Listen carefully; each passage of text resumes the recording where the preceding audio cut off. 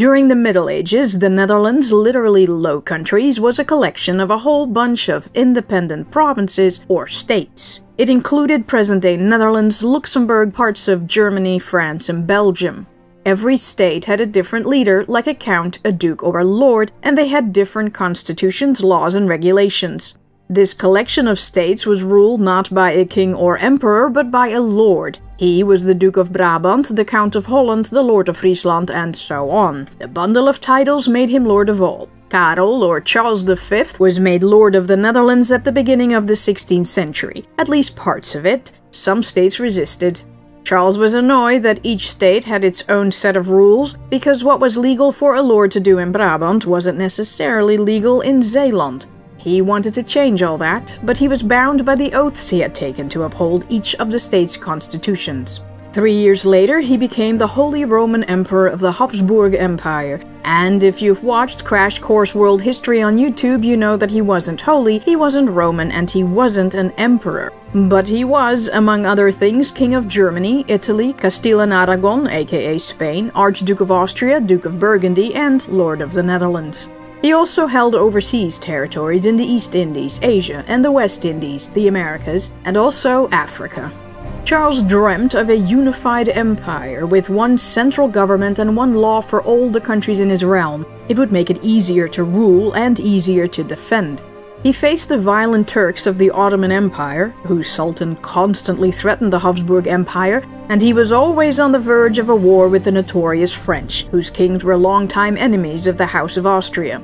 He needed to crush all countries of the empire into uniformity. Charles was able to push his new ideas through in all the areas in his realm, but the Dutch said no. They would not allow the emperor to take away their independence. Charles decided to go around them and instated three so called collateral councils that he placed above all local and state councils. There was the Council of State to advise the emperor on internal and foreign affairs, the Privy Council to deal with all sorts of legal issues, and the Financial Council to handle the budget and advise him on taxes.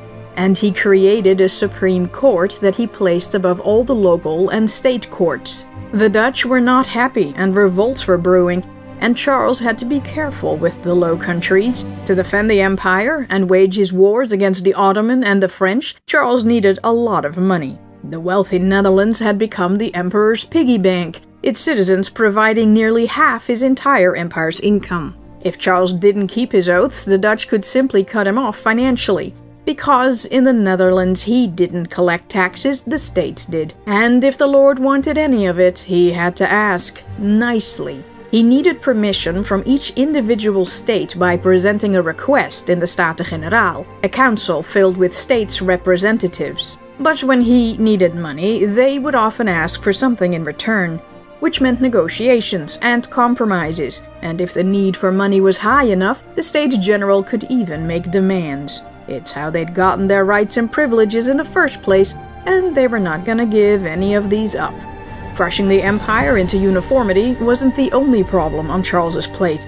The emperor was a strict Roman Catholic ruler, but the Protestants were beginning to overtake his realm, undermining his position. Protestants were heretics, and heretics were bad.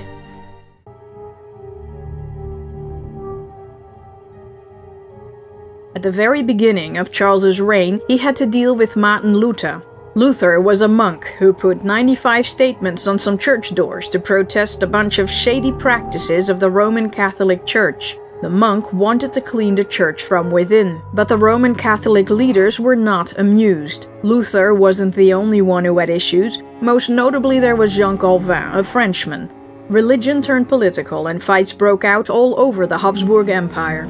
The religious battles ended 40 years after they began with the Peace of Augsburg. It was then decided that cuius regio eius religio, whose realm, his religion.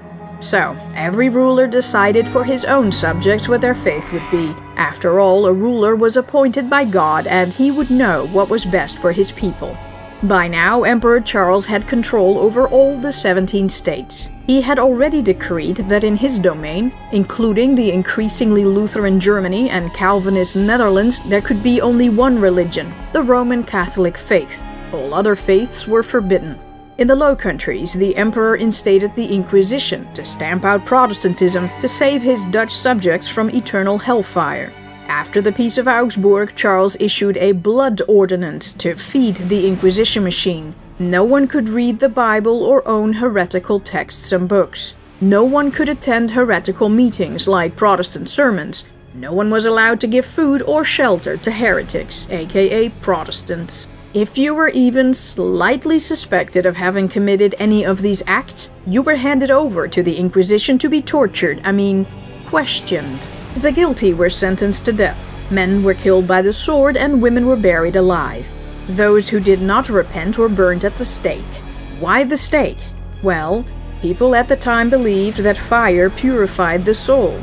After the heretics were burned pure, to a crisp, their souls could actually enter the kingdom of heaven. How considerate is that? By the way, witches rarely burned at the stakes, they were mostly hanged. The blood ordinance created a lot of tension in the country. Everyone resisted this policy change. Many Dutch people had heard about the humanist writings of Desiderius Erasmus. They thought that just because you believed something didn't mean you should be executed for it. And they were merchants and traded with a lot of non Roman Catholic foreigners. Were they going to be put to death because of it? Did the emperor want to bankrupt the country?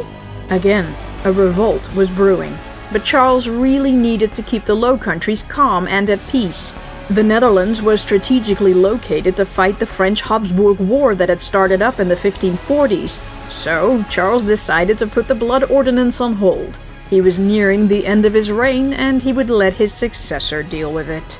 That would be his son, Crown Prince Felipe.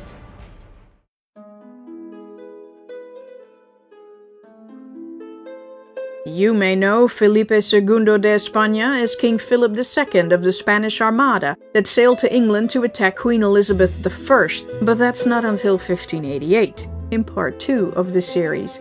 As a typical medieval monarch, Charles traveled a lot, but he kept his heir in Spain. He needed to keep the Spaniards happy who felt neglected by their king. He spent way too much time in the Netherlands, an inferior country compared to the mighty Spanish realm. The crown prince was raised by monks and courtiers who molded him into a fervent Roman Catholic. Felipe felt Spanish, thought Spanish, and the only language he spoke without mistakes was Castilian Spanish. His mother, Isabella de Portugal, died when he was 12, and at 16, Felipe married his niece, Maria Manuela de Portugal. Maria died four days after giving birth to their son, Don Carlos. The young Infante was delicate and deformed, probably due to the extensive inbreeding. Three years later, Felipe had to go to the Netherlands so Charles could introduce him to the States as their future sovereign. The Dutch immediately noticed that Charles and Felipe were polar opposites. The Emperor was a big, strong man with a hearty appetite. Felipe was slight and short for his age, and he had to watch what he ate because he had a weak constitution. But he was addicted to sweets. Mood. Charles was a man of action. Felipe was cautious and hesitant, sitting back and biding his time.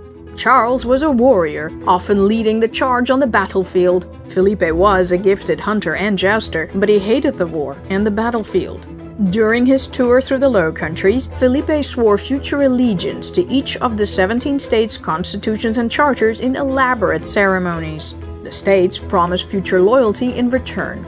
After each ceremony, huge festivals were held in the Crown Prince's honor, and each state tried to outdo the other in scale and splendor. Felipe suffered through it all with an icy glare. Oh, how he hated the chatty, bubbly, noisy life of the Low Countries. He wanted to go home. His father ordered him to act more friendly and smile at his enthusiastic future subjects. He tried. He really tried. But Felipe soon felt ridiculous and reverted back to his cool, distant, non smiling self. It's not like Felipe didn't have a sense of humor, though. In private, he laughed louder than anyone and absolutely busted a gut watching the crazy antics of the court jesters. He always kept one of them around to cheer him up when he was feeling down. Felipe's second wife was his first cousin once removed, Queen Mary I of England. Bloody Mary was a mean, bitter, and ugly woman, and 12 years older than the Crown Prince. Felipe was like, ew. But he obeyed his father, who ordered him to marry her. Once he was King of England, Felipe could control the Netherlands better. Charles had quickly made his son King of Italy so he could marry the Queen as an equal. Unfortunately for Felipe, he only became Jure Uxoris King of England and Ireland. Only their children could inherit the throne if Mary were to die. Mary didn't speak Spanish and Felipe didn't speak English. But she spoke French while he spoke Spanish, and that's how they sort of communicated. On their wedding night, they did what they had to do. Afterward, Mary couldn't walk for four days. Make of that historical fact what you will. Mary was a terrible tyrant to her subjects, but she was in love with Felipe and pathetically doted on her husband who was hardly ever around. There were two false pregnancies, but Mary died four years after the wedding, childless, probably of stomach cancer. King of England and Ireland, Felipe was no more. Queen Elizabeth I got the throne instead. Felipe considered marrying her, but she turned him down and he realized this was not going to be a match made in heaven. After all, she was a heretic. She was Protestant. Felipe was a very God fearing man. Like all sovereigns and people at the time, he believed God had selected him to be king. He had the holy job of leading his subjects away from damnation onto the straight path to paradise and protect them all from evil. The king knew that if he ever wanted to get to heaven, he'd better run his realm really well or there'd be hell to pay in the afterlife. As we'll see, this wasn't always politically the best thing to do, but spiritually it was a must. Felipe's soul and the souls of his subjects were on the line here. At age 55, Charles V had become an old and broken man, and he resigned. He had to split up the empire because, despite the emperor's best efforts, Felipe had no real claim on the Habsburg realm. That part of the empire passed on to Charles's younger brother, Ferdinand, Felipe got the rest. But when in 1555 Charles announced his retirement, the emperor leaned on the Prince of Orange, not his own son, during the ceremony. Who was this Prince of Orange? Glad you asked.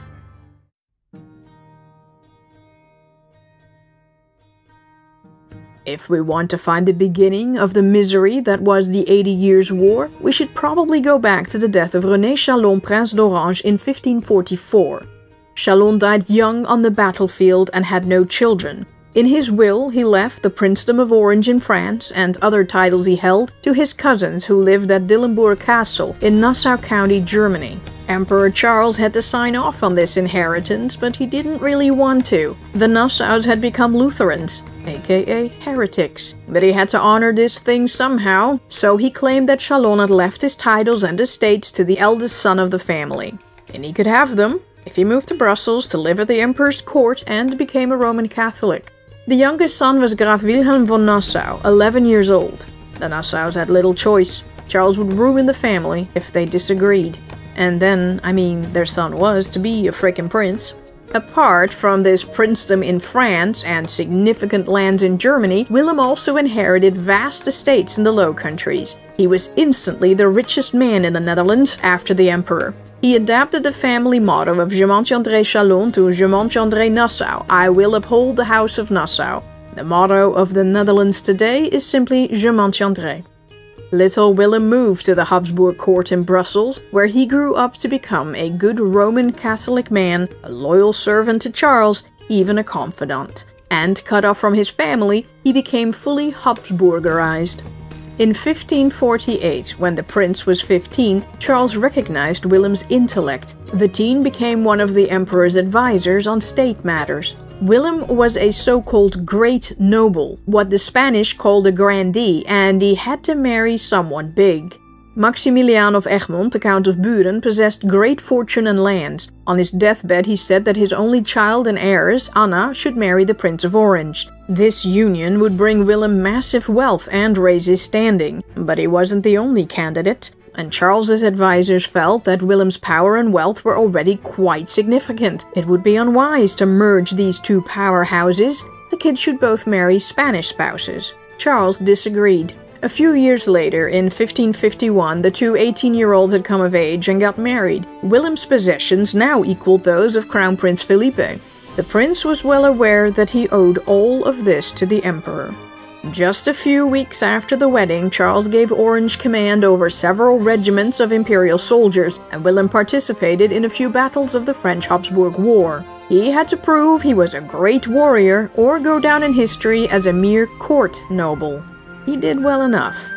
When the prince was not on the battlefield or on assignment for the king, he was at home. There, his life was one big party with lots of drinking and disgustingly decadent behavior, it was behavior that he, as a great noble, could get away with because of his immense status. But despite his vast wealth, the prince spent way more than he earned.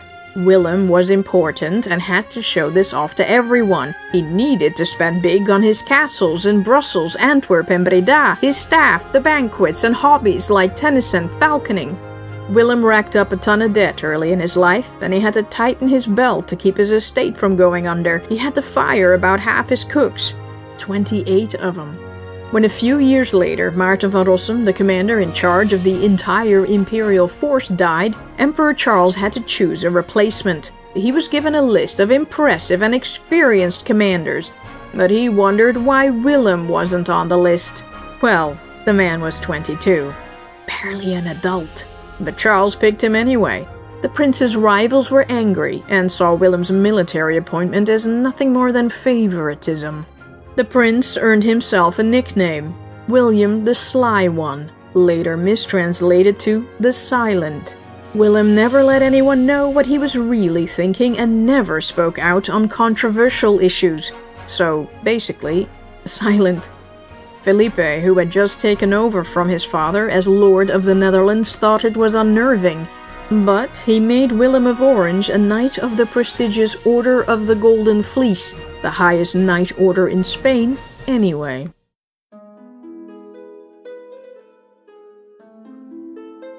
The moment King Felipe came to power, he quickly negotiated a truce with Henri II, King of France, to pause the French Habsburg War.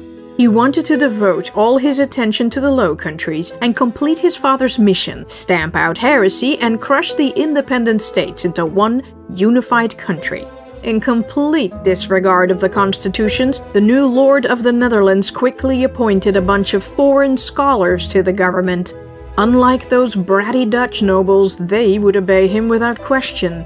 The Dutch were stunned Hadn't Felipe sworn to uphold all the state laws during his grand tour through the Low Countries like 10 years ago? But Felipe was like, whatever, I do what I want. While the king's troops were busy fighting off the French in Italy, one of his other realms, the French Habsburg War flared up again. He had to send in the Dutch nobles and their armies to handle it.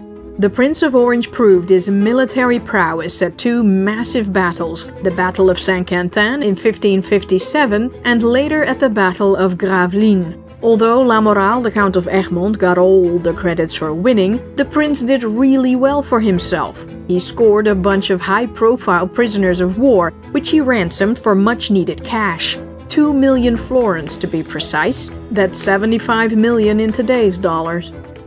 While Willem was handling the emperor's severely delayed abdication in Germany, he was called home because his wife Anna had fallen ill, and it was serious. Not long after he returned, she passed away at only 25 years old. They had two children three year old Philips Willem and one year old Maria. Willem was quite shaken by her death and even got ill with severe fevers and nerve attacks, but he had to return to the battlefield again. By the end of the year, Willem had apparently recovered enough to have affairs and ended up with a bastard son, Justinus. He was probably the son of Eva Elings, the daughter of an innkeeper in Breda, but Willem recognized the child as his own and raised him at his court. The prince couldn't marry Eva, she had no class. I mean, she was not a great noblewoman. In 1559, two years into the renewed French Habsburg War, King Henri was tired of losing battle after battle, and King Felipe wanted to free himself up to fight the heretics in the Netherlands. They made a truce. The Spanish king sent Philippe Montmorency, the Count of Horn, and Willem, the Prince of Orange, to France as hostages to arrange a definite peace between him and King Henri, and the duo slayed. The Treaty of Cateau-Cambrésis was considered the most disgraceful and disastrous treaty ever ratified by a French monarch, but the peace was celebrated for months. and Willem made good use of his time there to find himself a new wife. However, no one important in France wanted to give him their daughter. King Felipe did better. His wife, Bloody Mary, had passed away a few months earlier. As part of the peace deal, he was giving King Henri's daughter's hand, Isabella de Valois. The girl had been promised to Felipe's son Don Carlos. But hey, you snooze, you lose. Felipe married his third wife a few months later by proxy. It would be a while before they'd be together. He was 32, she was 14, and hadn't hit puberty yet. Boys and girls at this time typically didn't hit puberty until they were 16. King Henri didn't get to enjoy the peace for long. During a jousting event, a splinter of his opponent's broken lance struck his eye. It got infected, and the king died. Henri was succeeded by his weak and sickly son Francois II, who was married to Mary Stuart, Queen of Scots. He died a year and a half later, at 16. Then Francois' mother, Catherine de' Medici, was in charge until her 10 year old son Charles would come of age.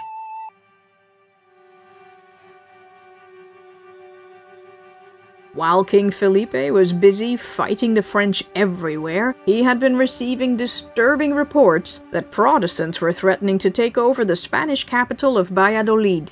Plus, Sultan Suleiman I of the Ottoman Empire was now gathering a fleet and preparing to attack Spanish holdings in the Mediterranean. The king needed to build a fleet of his own to defend his realm.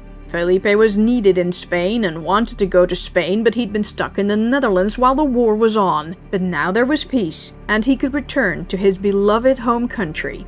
He would make Madrid the kingdom's capital instead, just to be safe.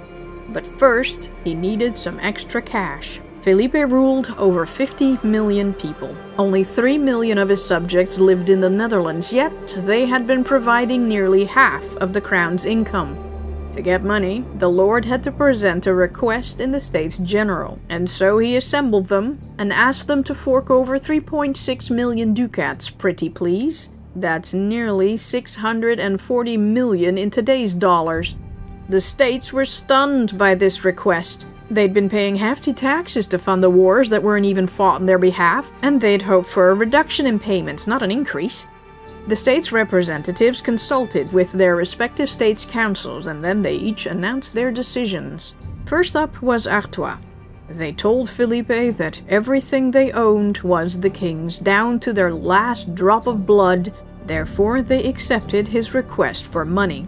Felipe was like, Yes! But in return, Artois made a demand. All Spanish troops had to be removed from the country. Felipe was like, no, no, no, no, no. When one after the other state made the exact same demand, Felipe became furious. Someone had been feeding them this line. It was a conspiracy. Then the Prince of Orange, the Count of Egmont, the Count of Horne, and other great nobles piled on with a petition. All the foreigners had to go. The government should be run by the locals. And those badly behaved Spanish troops plundering their way through the country were an insult to the Dutch nobility. There was no need for them in peacetime. Get rid of them now. The king, already fuming, was livid. He was a foreigner. Should he leave as well then and just hand the country over to them? Well, now that you mention it, no, they would never have dared say such a thing. That would be treason. The king's trusted advisor, the Bishop of Arras, Antoine Perrenot de Granvelle, convinced Felipe that now might be a good time to shower the grandees with money and titles and win them for his cause. So, to shut them up and keep them busy, Felipe appointed many of them as stadhouder or stadtholder to the different states. A lord couldn't be everywhere at once, so he selected stadholders or insteadholders to protect his rule and keep the peace in each of the states in his stead.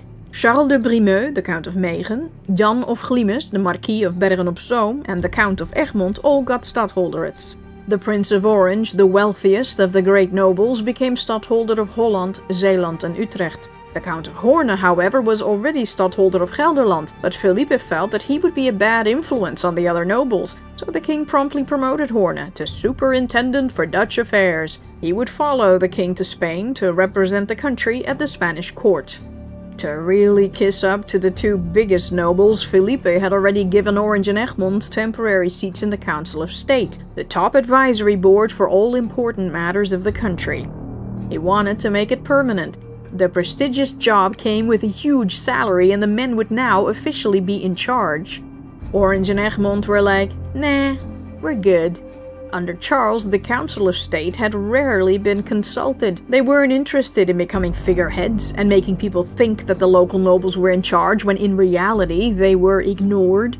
Felipe promised that the Council of State would be restored to its full glory and authority, and if they ever felt that they weren't being heard, Orange and Egmont could write him any time, and he would sort it out. Orange and Egmont agreed on those terms. Felipe, in the meantime, found his inner zen and responded to the state's demands. He would withdraw all troops, even though they were there for their own protection. But one regiment of about 4,000 men had to remain, for now. This regiment couldn't be disbanded until they were paid. The king would do this within four months after he got back to Spain. In the meantime, Senors Orange and Egmont would command these troops. Happy now? The states agreed to pay the sum, but in installments spread out over nine years. Felipe grumbled. He knew that this way, the states could stop paying the contributions if things didn't go their way. But he had no choice, and reluctantly accepted the payment plan. By now, the king was way fed up with it all. He made it no secret that he was not a happy camper with how the great nobles had ambushed him. He felt particularly betrayed by Willem, that shifty little silent feller who had now shown that he wasn't the Habsburger he had been raised to be. Felipe was hurt that after all his father had done for the prince, he'd go against him in that way. For shame, sir, for shame!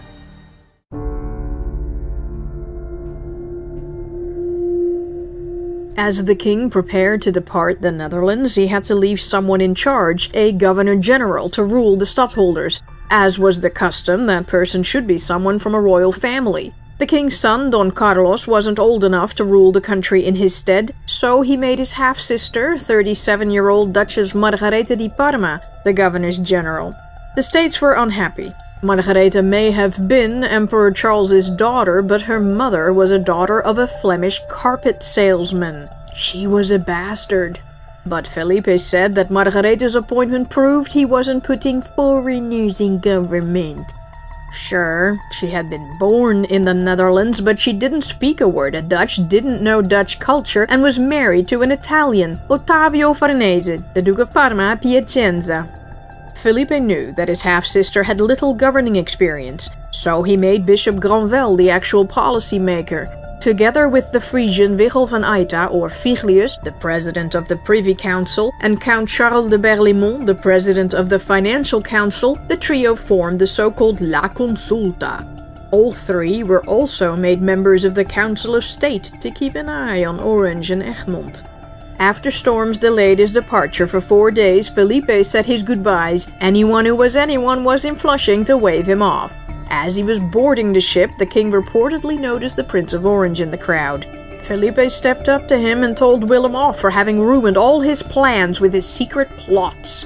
Orange was like, Did I though? The states had simply followed standard operating procedures. The king suddenly grabbed Willem's wrist, yanked him close, and reportedly hissed, No los estados, mas vos, vos, vos. The states were not the problem, Willem was. Felipe told him, None of the states would have dared to speak to me that way if there hadn't been men who supported them. Now, Stadtholder, go burn the heretics on that list I gave you. Willem did no such thing. On the contrary, he warned these people to flee. Make no mistake, he despised heretics, but he despised cruelty even more.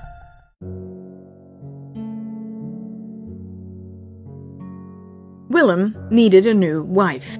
He intended to marry Renata, daughter of Christina of Denmark, Duchess of Lorraine, but King Felipe put a stop to the wedding plans. The marriage would be a strategic disaster for the Spanish realm. Instead, Willem found himself a marriage candidate in Germany, the 15 year old Princess Anna, the daughter of the late great imperial prince Moritz von Sachsen. The Saxonies were one of the most powerful royal families in Europe.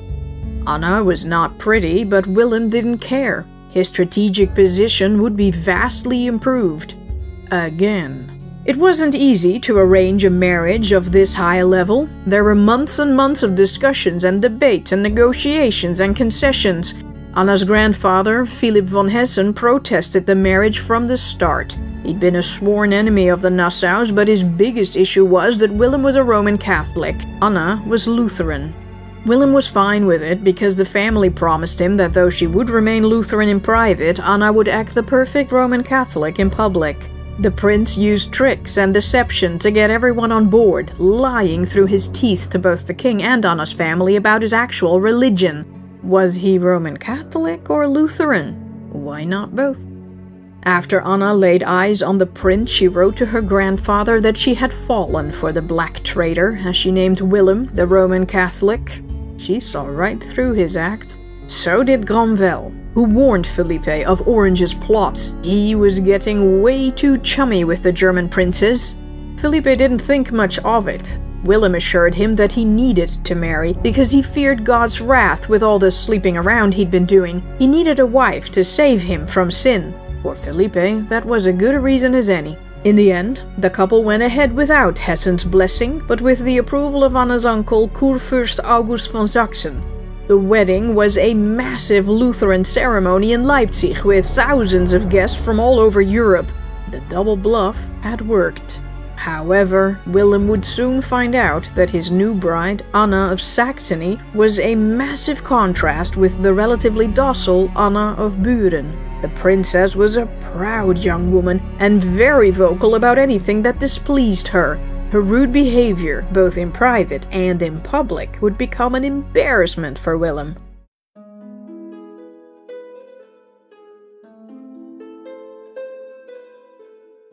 You might think that the distance would loosen Felipe up a bit, but no such luck. While the king was single handedly fighting off the Ottomans in the Mediterranean, he dusted off and reactivated his father's blood ordinance. From now on, the Dutch had to properly persecute heretics wherever they were hiding in the Netherlands, which they weren't, because they were right there, out in the open. Pope Pius backed Felipe's play, but said that there should be no more beheadings or live burials. All heretics now had to burn at the stake. Many nobles in the northern states didn't want to persecute heretics in their area. Leading the resistance were the Marquis of Bergen-op-Zoom and Floris de Montmorency, the Baron of Montigny, the brother of the Count of Horne. Granvelle warned King Felipe of this growing threat. These power-hungry grandees could channel their anger about the heavy taxation and the destruction of their privileges and join up with the Protestants to revolt against the king. Orange especially was dangerous since he was married to a Lutheran and his Protestant upbringing started shining through. The stadtholder wasn't enthusiastically hunting down heretics in his states either. Felipe didn't understand the resistance against the blood ordinance he failed to see the cultural differences between Spain and the Netherlands.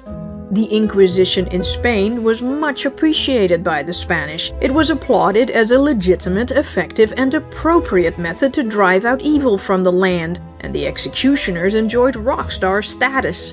During the Auto da Fe, a joyous festival of heretic burning that by merely attending would absolve all your sins, the crowds cheered them on. The Dutch thought burning heretics was outrageously cruel and unnecessary. They resisted it with all their might. Why was Yun, the friendly neighborhood baker, burning at the stake? What did he do? Read the Bible? Hum a Protestant hymn? Really? That's it? Execute some real criminals like thieves and murderers, you jerks. Executioners and inquisitors in the Netherlands faced increasingly angry crowds. They complained to King Felipe that they feared for their lives. During the public execution, citizens defiantly chanted Protestant songs, pulled the burning stakes apart, and stormed the prisons to free captured heretics. It got so bad that the king even considered moving the executions indoors. The most hated was Inquisitor Peter Titelmans in Flanders, who racked up 1600 kills in no time. Now, let's make this very clear. The dreaded Spanish Inquisition and the Flemish Inquisition were two different beasts. Don't misunderstand me though. When the Dutch protested a possible introduction of the Spanish Inquisition in their country, even Felipe himself said, Why would I do that? The Flemish Inquisition is infinitely more cruel than the Spanish one. The Habsburg Emperor Ferdinand kept warning the king to ease up on his intended Spanification of the Netherlands. Things are different here up north, pal. Felipe ignored the warnings, and in the meantime, the 4,000 Spanish troops remained.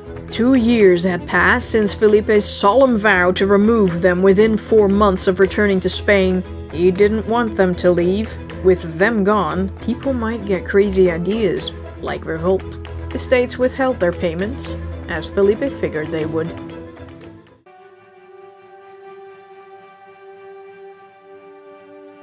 With the Blood Edict back in full swing, Felipe now went ahead with phase two of how to subjugate a nation, or rather, how to piss off everybody 101. He revved up a plan that he and Pope Pius IV had been concocting for a few years the reorganization of the Dutch bishoprics. The Pope allowed the king to create three archbishoprics where there had been none and 15 bishoprics where there had been four. It pissed off the clergy, who saw their income melt away because now they had smaller dioceses and fewer people to fleece for money.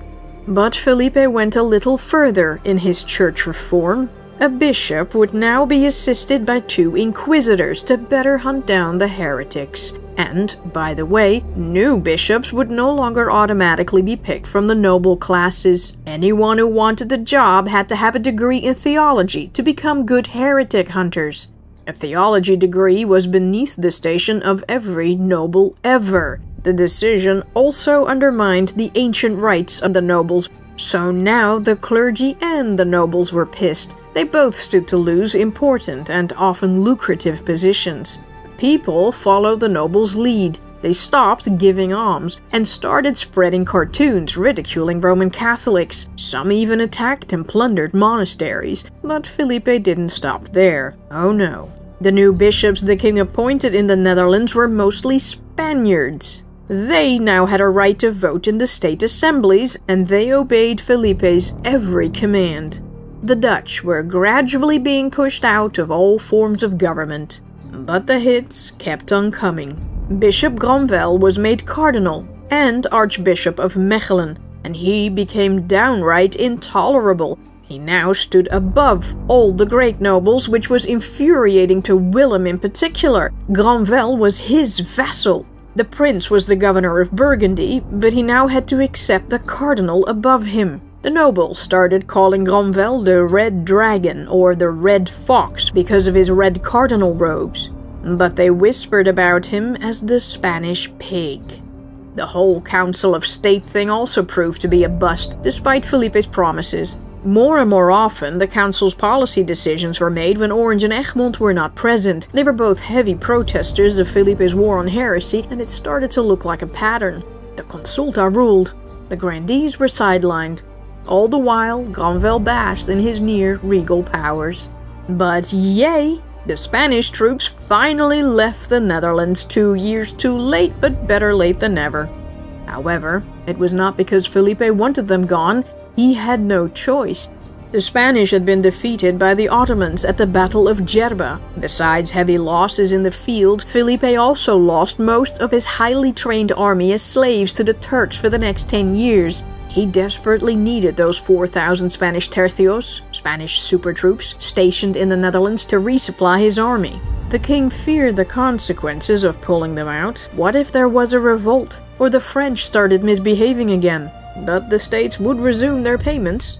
Silver lining.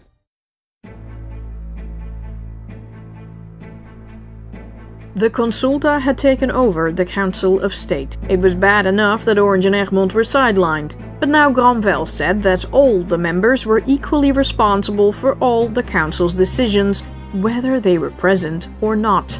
Orange and Egmont were like, that's it, buddy. You're going down.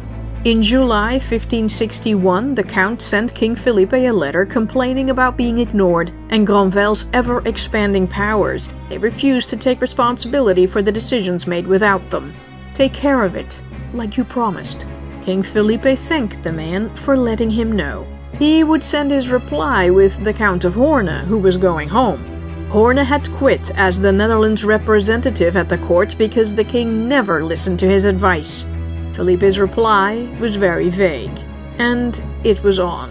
The great nobles, ten in all, led by Horne, formed a WhatsApp group, the League of the Greats. They banded together to defend their freedoms and their rights.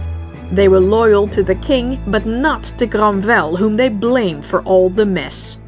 Granvelle wrote desperate letters to the king, begging him to tell the men that he was only implementing Philippe's policies.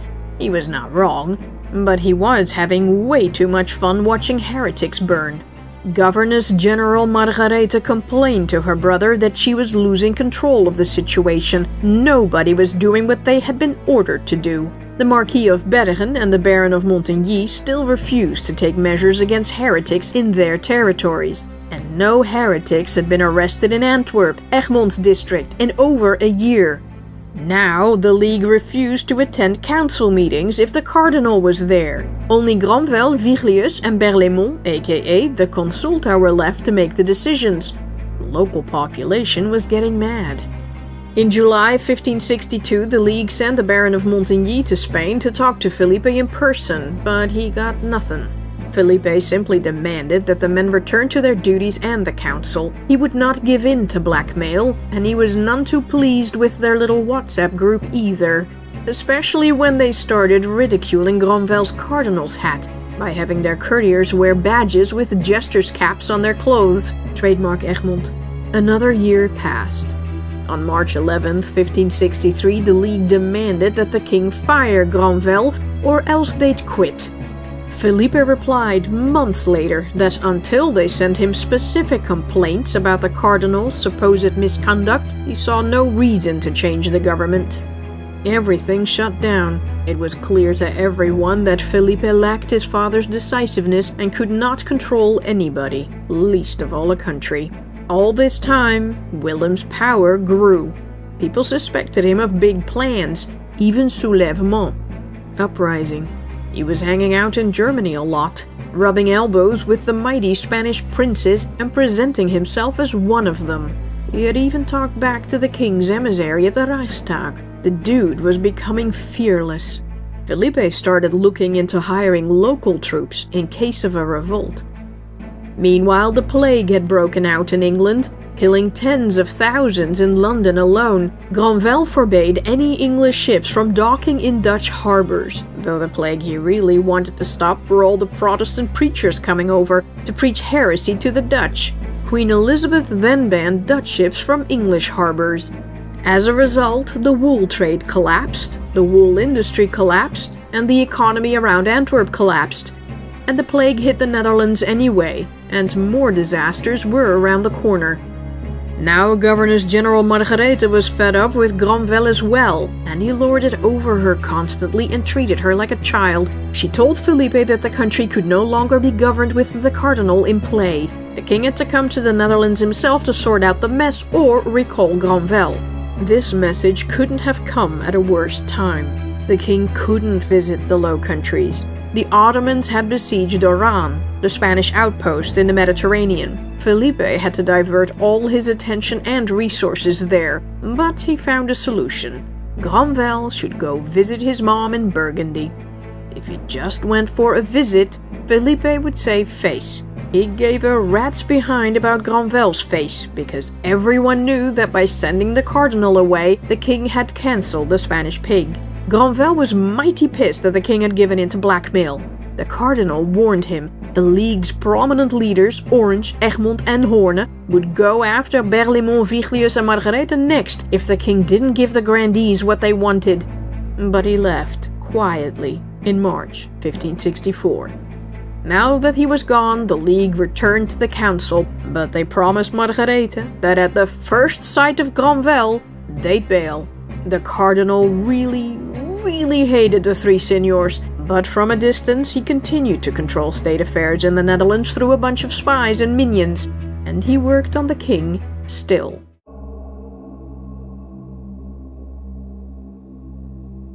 Five years ago, Felipe had promised his son Don Carlos rule over the Low Countries. But in 1562, the 17 year old Infante fell down the stairs at Escorial Palace when he was chasing after a young maid. He hit his head on a door. Don Carlos was a little stunned, but spoke to the doctors who treated a nasty cut above his eye. They put the prince to bed immediately and started sweating him so he wouldn't need bloodletting. Still, he got an infection that spread through his lymphatic system. His eyes became swollen shut, and eventually Don Carlos suffered from delirium. The king had left El Escorial for his castle in Madrid right after the accident because his son seemed fine, but now he hurried back to the palace and had a ton of meetings with the physicians about Don Carlos's condition. The doctors believed the teen had suffered an internal head injury that they couldn't cure. They predicted the young man would die within hours. As Felipe prayed at his son's bedside, the king's confessor suggested he try a heavenly cure. They should dig up the remains of a Franciscan monk, Fray Diego de Alcalá de Henares. It was said he had performed miracles during his lifetime. Felipe was like, Perdón? You want me to do what now? But desperate needs lead to desperate deeds, and the king ordered men to crack open the casket and put the monk's remains in bed next to his son. Don Carlos touched the body, then lost consciousness. The king couldn't bear to watch his son die, and he returned to Madrid, where he prayed and prayed and prayed and waited for the message of his son's inevitable demise. But Don Carlos recovered that night Felipe called for the sanctification of Diego, naturally. Guess where the California town of San Diego got its name from? Every year on November 13th at the Magisterial Cathedral, they open the casket so you can see the monk mummy for yourself.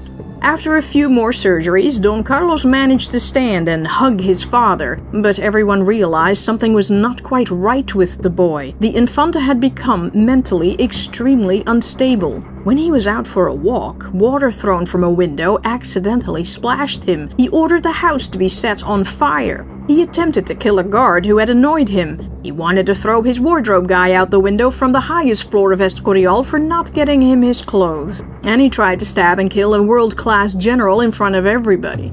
Servants kept having to intervene to prevent disasters. And then he started telling everyone that he would kill his father. King Felipe was both enraged and in denial about his son's condition. He called Don Carlos's unpredictable mood swings phases, sometimes serene, sometimes not so much. It was all in God's hands who had made him this way. Felipe hoped his son would improve over time, but it just got worse. Don Carlos was unkind, listened to no one, and had strange habits. Still, the king made him heir to Aragon and allowed the crown prince to attend and even lead council meetings. They were experiments. Maybe Don Carlos would snap out of it once confronted with weighty issues and given some real authority. Unfortunately, he just created confusion and delays. Felipe hesitated for a long time, but two years after the accident in 1564, he had to concede. Don Carlos was never going to be fit to rule. He removed his son from power. The crown prince flew into a rage and swore vengeance. But Felipe was focused on another matter. He had his eye on the Habsburg Emperor's throne. His uncle Ferdinand had died. He wanted Orange to win the German electors over to his side so they'd vote for him and gave the prince a lot of money to take care of it. In the end, Maximilian, Ferdinand's son, was elected as the new Holy Roman Emperor, leaving Felipe empty handed. Willem, however, had cleverly used the money to enlarge his own network and power base in Germany. Now Felipe needed to put a stop to that, that sneaky little bastard.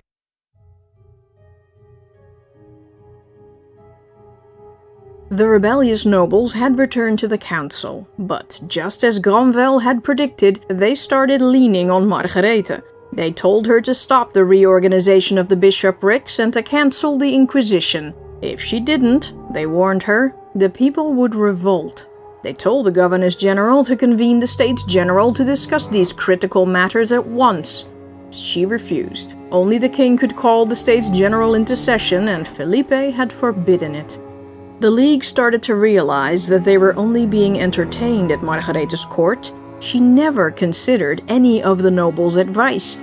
Worse than that, Felipe had to approve all new appointments of government positions. But the king never accepted any of the nobles' suggestions. In fact, all the jobs went to Granvelle's men.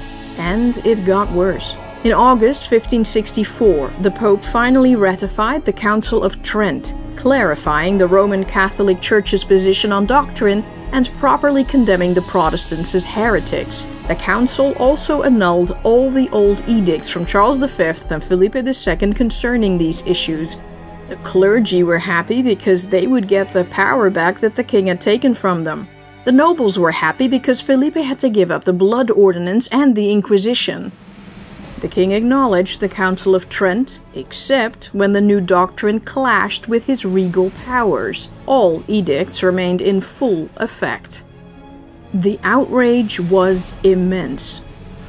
In November, Margarethe told the king that if he left the Netherlands to its own devices, the whole country would soon be lost to him. Up to this point, Willem had felt that heresy had to be stopped, though he didn't agree with the cruel practices of the king. For a while now, he had been hard at work with an ongoing Protestant problem in Orange, his princedom. It got so messy that the Pope had even threatened to take Orange away from him if he didn't get the heretics there under control. During this stage, Willem realized that forcing people back to the church only made matters worse. The best anyone could hope for was a peaceful coexistence. On the last day of December in 1564, the prince showed up at the Council of State to give the now infamous New Year's speech. The ever silent Willem spoke out. For hours. His Majesty should be informed of the country's problems in simple terms so he could understand it.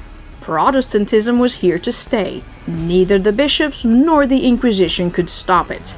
The three collateral councils were a mess, the king should unite them or get rid of them. The king should also appoint local members to the Council of State and kick out the Spaniards, because only local rulers would have the people's support. Lastly, Willem said that even though he wished to remain a loyal Roman Catholic himself, he felt that a sovereign had no right to decide over the conscience of his subjects.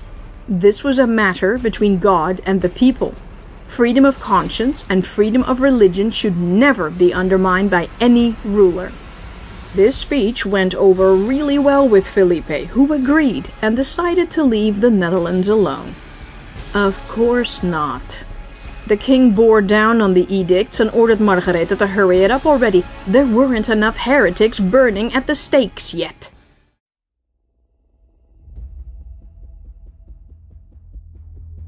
In January 1565, the Count of Egmont himself went for a visit with dear old Felipe in Madrid. People came in droves to wave him off. The Count was a much revered and celebrated general. If anyone could convince Felipe, people thought, Egmont could.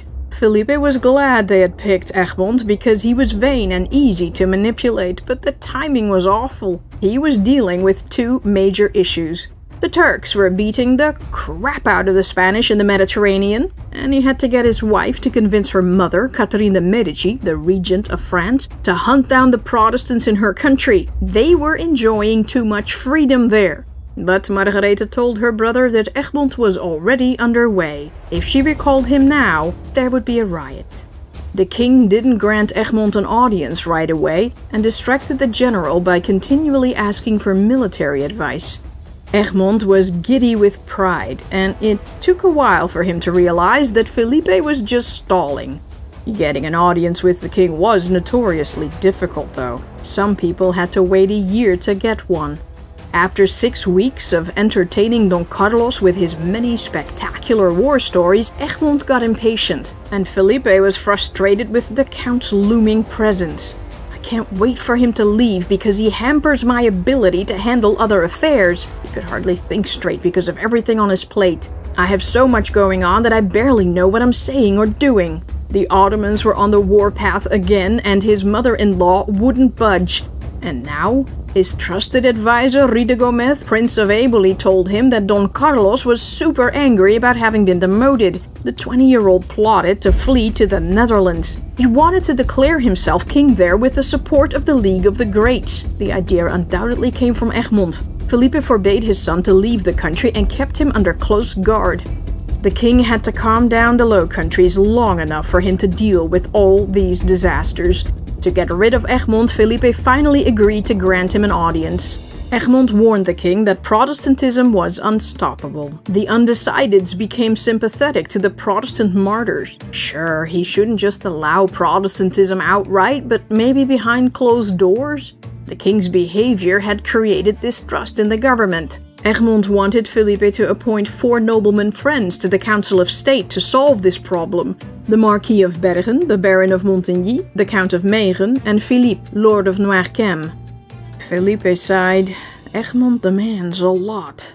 But he didn't want any discussions, so yay for Egmont, he got some concessions. First, a theological committee would be appointed to figure out if it was strictly necessary for heretics to burn at the stake. In the meantime, heretics would not be executed. Much. Second, the Council of State would become the highest governing body again, and sure, the king would consider appointing the Count's friends as new council members. Then Egmont was sent home in April 1565 with a ton of gifts, payment for his debts, and a whopping financial bonus to spend as he pleased. Egmont left a very happy man. But Felipe was so exhausted after all this that he couldn't work for days. Joining Egmont on his journey to the Low Countries was Alessandro Farnese, Margarethe's 19 year old son, whom Felipe had held hostage in Madrid because his father, the Duke of Parma, had misbehaved he was finally set free and would marry the Infanta Maria de Portugal in the Netherlands. Once Egmont got back to the Netherlands, he couldn't wait to tell the Council of State of all the great things the king promised to do. Margarethe was happy, the grandees were happy, Egmont was happy, but Willem was like, doubt. No way that Felipe would honor these concessions. Everyone thought that Willem was just jealous of all the awesome things Egmont had achieved. Then the king's letter arrived with his final decision a month later. Nothing would change. The committee had decided that stake burning was necessary, heretics would still be persecuted, and none of Egmont's friends were appointed to the council.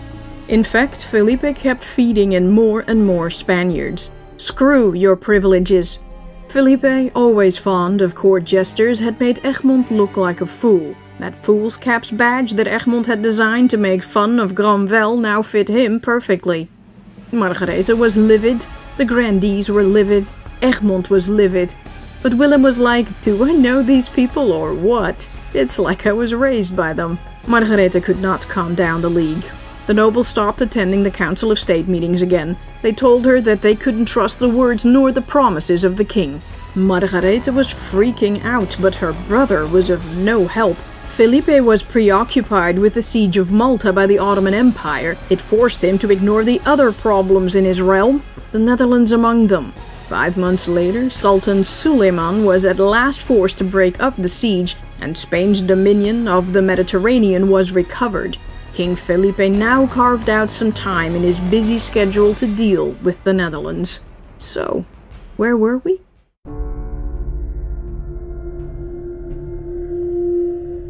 The League's efforts to make King Felipe see things their way had been in vain. Willem was angry.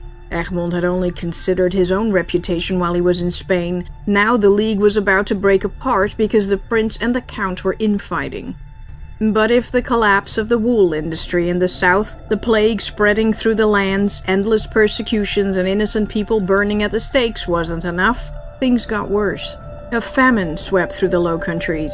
Because of the harsh winter, Europe was going through a mini ice age at this time, the crops had failed.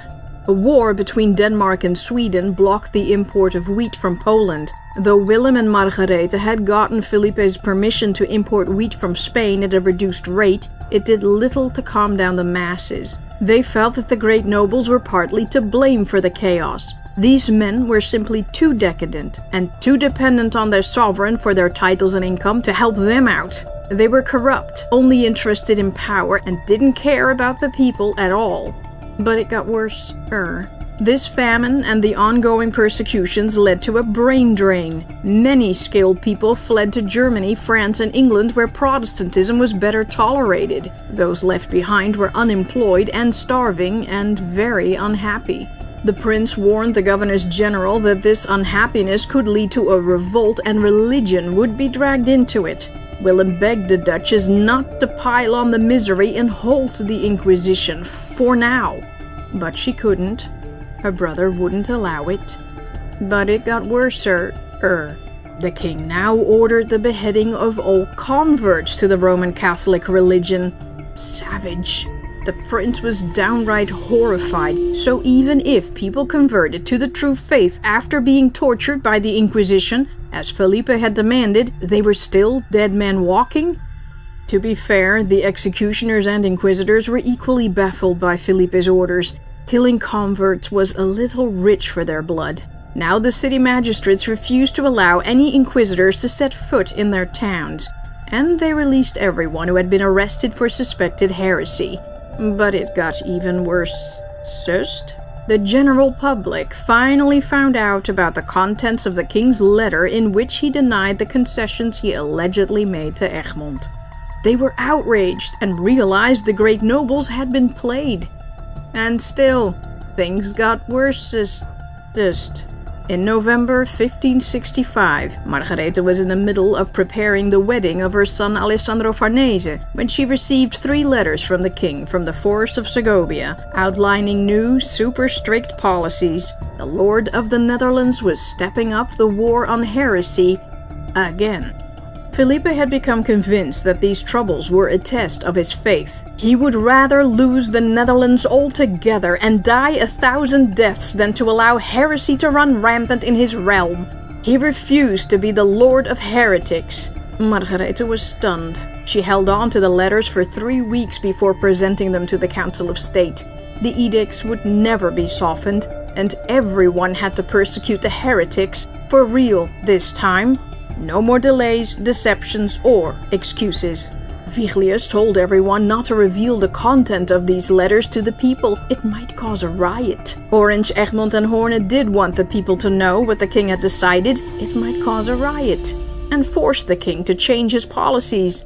We will soon see the beginning of a great tragedy, Willem whispered, not entirely able to hide his glee.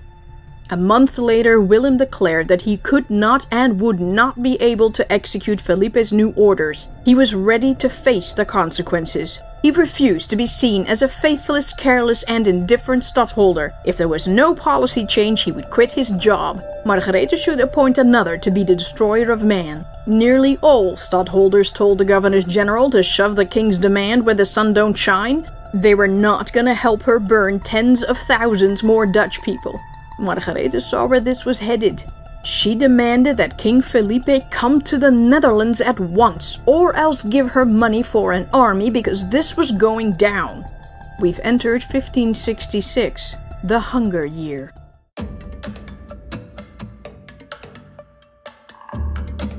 With wheat being scarce and sold at exorbitant prices, famine was everywhere. The Spaniard Castellanos wrote, I saw women in Artois hang themselves so they didn't have to see their children starve to death. So, the great nobles had failed to change things. Now the lesser nobles felt their time had come to come to the rescue. These nobles were young, held no offices, and because of the peace with France, these mostly former army officers were unemployed. They were broke, fearless, and reckless. Hendrik, Lord of Brederode, Burgrave of Utrecht, and Floris von Pallandt, Count of Culemborg, were both married to Lutherans like Willem. They started a campaign with pamphlets and suggested a more forceful approach to the problem, and they got Ludwig von Nassau, Willem's younger brother, involved. They formed the Compromise of Nobles at Alessandro Farnese's wedding. Their protest was mainly about religion. The compromise circulated a petition saying that the Inquisition was against all human and divine laws and had to stop. Wasn't Calvinism a spiritually safe alternative to Roman Catholicism? The people wouldn't want more atheists, Anabaptists, and libertines, would they? But they also said that the country was now entirely run by Spanish masters who were hell bent on destroying the country. To be clear, we're not rebelling against the king. No, really, we're not. Sign if you agree. In no time, they had over 2,000 signatures from both Protestants and Roman Catholic nobles. The Prince of Orange stayed away from the compromise. As a Habsburger, he was trying to juggle his oath to the king and the country's apparent needs. But as the compromise grew, their courage grew with it. The young, reckless, fearless men wanted to take up arms before Margaretha had the time to gather troops to suppress them. Willem and the grandees freaked out. The prince told the compromise to chill. You know what they should do instead? Write an appeal to the Governors General. An appeal was a perfectly legal and acceptable way to explain to the region what was bothering them. The compromise compromised. A petition it was, but if it wasn't honored, well, get ready for some action. Meanwhile, Willem wasn't doing too well. His wife Anna of Saxony had given birth to Anna, who died moments after being born. Another daughter was also named Anna, she had also given Willem a son, Moritz August Philipp von Nassau, named after her father, uncle, and grandfather. But the boy passed away in March 1566 at 15 months old. Heartbroken, Anna started drinking heavily, and her behavior, already problematic, now spiraled out of control. After the death of his second legitimate son, and with the compromise doing their thing, Willem felt isolated and became paranoid. The compromise was plotting violence, and he saw plots against his person everywhere, including those from the king. But he convinced others to make him governor of Antwerp. So, yay?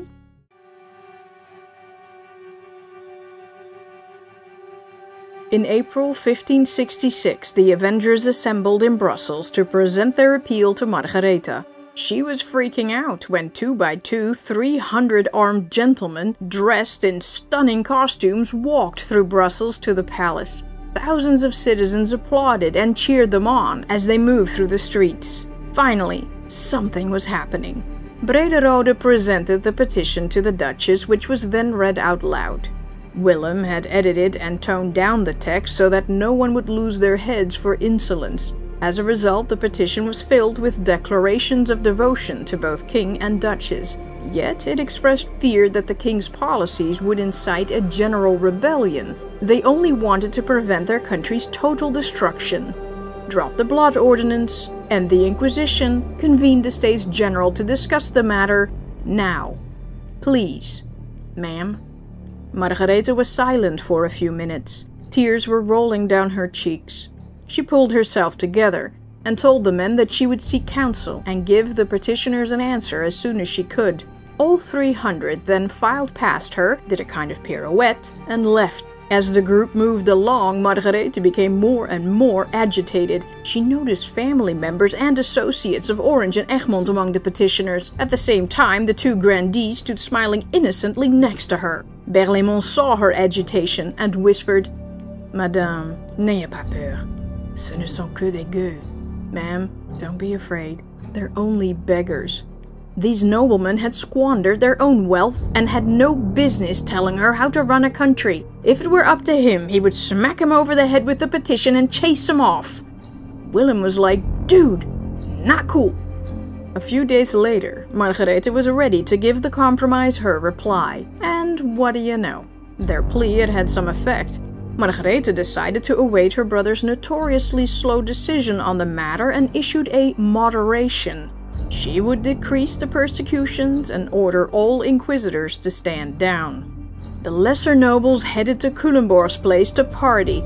Still, they couldn't get past the fact that Count Berlaymont had called them beggars. Brederode thought, I can turn this around. You know what? We'll be beggars then and carry a beggar's bag and drink from a beggar's cup. Vive les gueux! The Dutchified French word became a nom de guerre for these nobles, geuzen, beggars. They started wearing grey clothes, took off their jewelry, and wore specially designed beggar medallions to show everyone that they were, in fact, beggars, and proud of it. And Brederode soon became Le Grand Gueux, the Great Beggar. Margarethe now needed to persuade King Felipe to agree with her concessions in the moderation. She ordered the Marquis of Bergen and the Baron of Montigny to go to Spain to convince him. The two men were not raring to go. Their conduct had not exactly been up to snuff. Numerous people had been telling King Felipe that the Marquis and the Baron were the instigators of all the troubles, and they were not wrong. Bergen was delayed because of an illness, and when Montigny arrived in Paris, people warned the Baron not to continue. There was certain death ahead. The king was pretty mad. But the Baron knew he had a duty to perform and continued on his way. When Montigny arrived in Spain, the king received him with much warmth and immediately gave him an audience. Felipe assured the Baron that he wasn't mad at him or the Marquis at all, no matter what people had been telling him about them. And the Oscar goes to. They were met with a smiling face, but who are closely watched and who will never be permitted to leave Spain alive. In the Netherlands, as per the moderation, the executions were reduced drastically. The heretics who had been hiding abroad came back in droves, mistakenly believing the coast was completely clear. The Calvinist church got organized and created church councils. But the Inquisition was still active, and the executions were still happening. Inquisitor Titelmans was not stopping his hunt for heretics, and Margarethe was fine with it. The people started referring to the moderation as the murderation.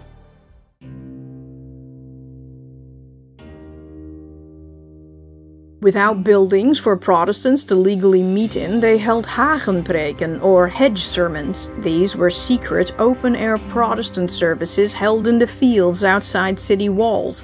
The congregation was often concealed by hedges, hence the name. Sometimes over 10,000 Protestants were in attendance, they put up tents to give people some shade and served food and drinks. It was like frickin' Woodstock. Many members of the congregation were armed to keep the worshippers safe, and pistol carrying horsemen patrolled the neighborhoods. Some preachers had been outlawed and needed to be protected. At the end of a sermon, these men would have to discharge their weapons for safety reasons, so they'd shoot their guns in the air, which the locals called the ringing of the beggar's bells. Roman Catholics were quaking in their boots. With so many people coming together to bitch about their faith, something was bound to go wrong. As a result, the Roman Catholic members of the Compromise started to back out. Seeing the Protestants coming out of the woodworks in full force, Margaretha wrote increasingly frantic letters to Felipe. He had to make a decision.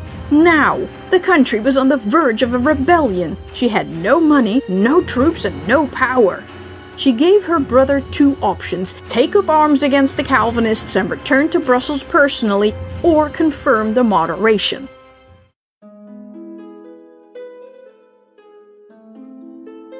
When the news of the public preaching reached Spain, King Felipe was shocked to hear about the 10,000 armed heretics congregating in one place and the 18,000 armed heretics meeting in another. The king conferred with his advisors almost daily in the forest of Segovia. They concluded that the Dutch nobles had actually committed treason for the fourth time.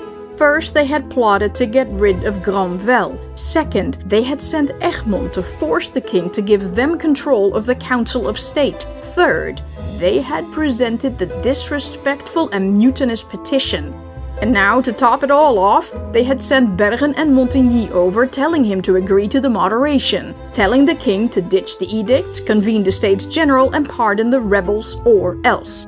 But the king knuckled under. Fine, let's do this. Convening the States General was out of the question. However, cancel the Papal Inquisition, but keep the Episcopal one offer a general pardon to the opposition leaders, but under strict conditions. The moderation was fine, but they couldn't use it until His Majesty visited the Netherlands. That's some weak tea, dude. Nevertheless, Felipe thought he had gone too far, and his decision had been made under duress. As per usual, he brought out his notary and officially recorded that he felt in no way bound to honor this agreement.